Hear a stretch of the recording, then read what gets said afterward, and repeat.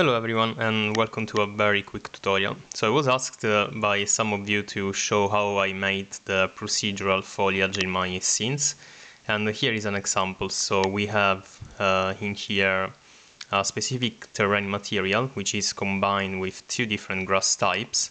One is rocks in this yellow layer of the landscape and one is grass on this green layer of the landscape. So if I go for example in the grass you can see here that there is a density field for the grass. So if I put 0 the grass automatically is removed.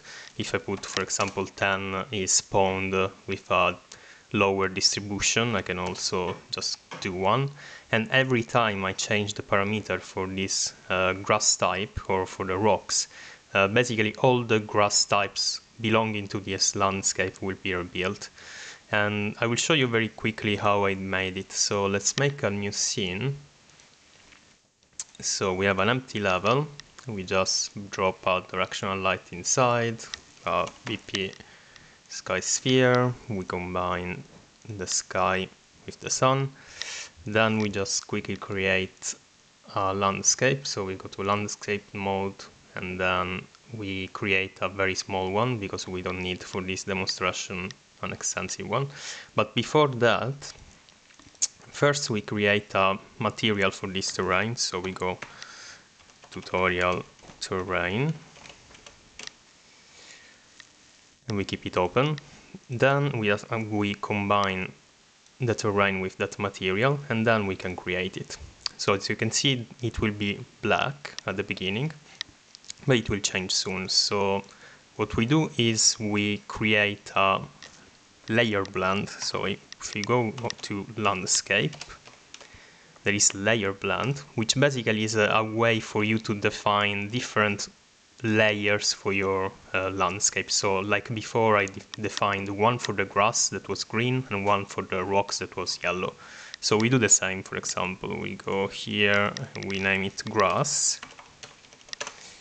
Then we go here and we name it rocks. Spelled correctly. Then we go here and we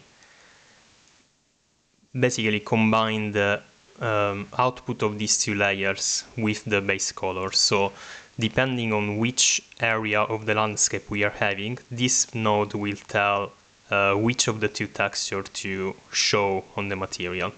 Let me explain a little better. So if I have, for example, vector parameter, let's call it uh, grass color, and then if I have another one which is rocks color. With one S then we combine the first one with the layer of the grass and the second one with the layer of the rocks. If I change the color in here let's say a green and let's say a yellow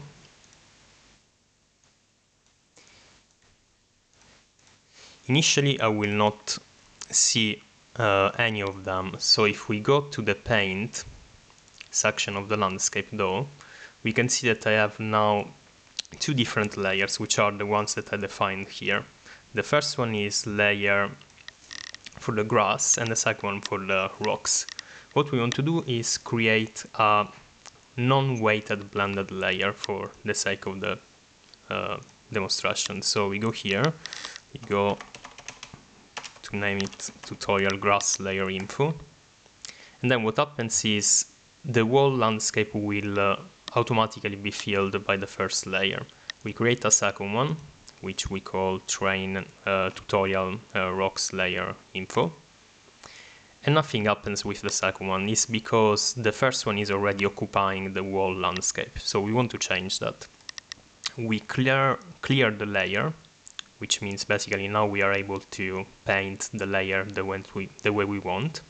So we select the grass, for example, and I want here to have an area of the grass, and you can see it turns green, and here an area with rocks, and you can see it turns yellow.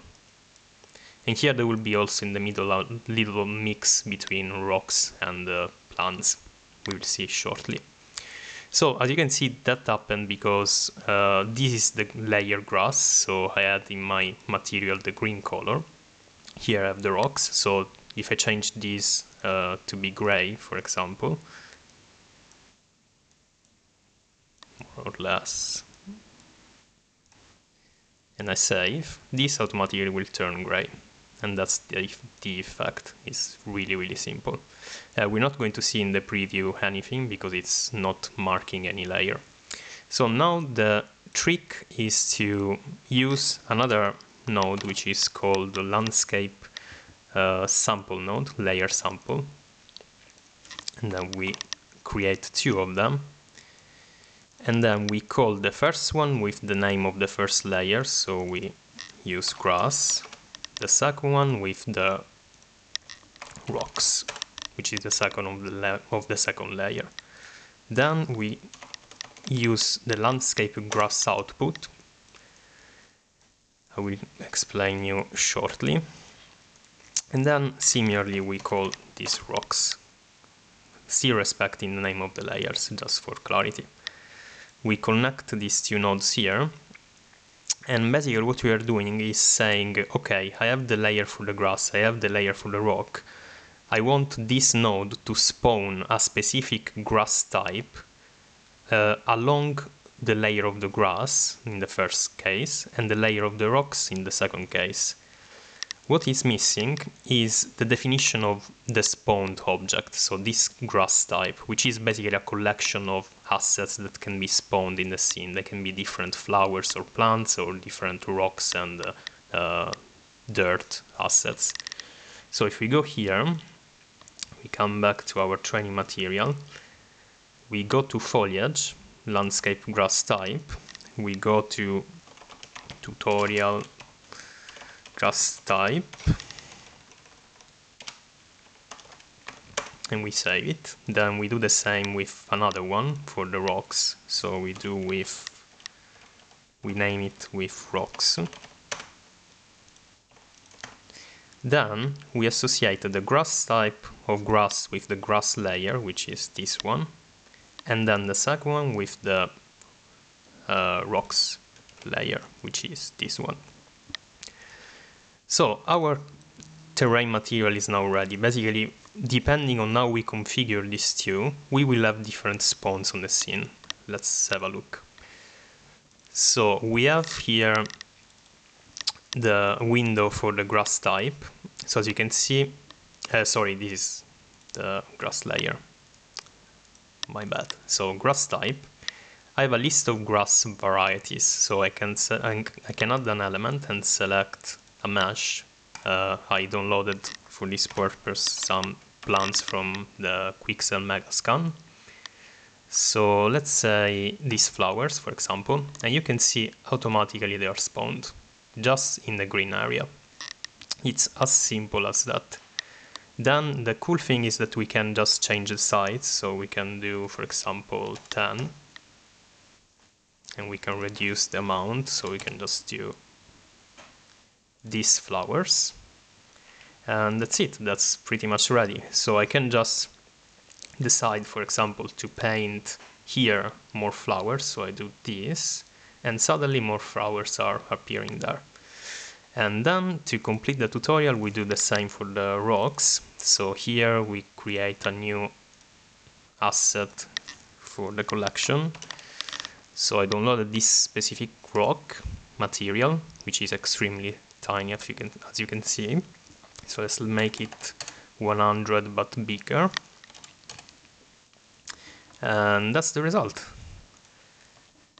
So we have these rocks and these plants automatically generated for our landscape, which is extremely useful, especially when you want to make a very large landscape without manually paint everything.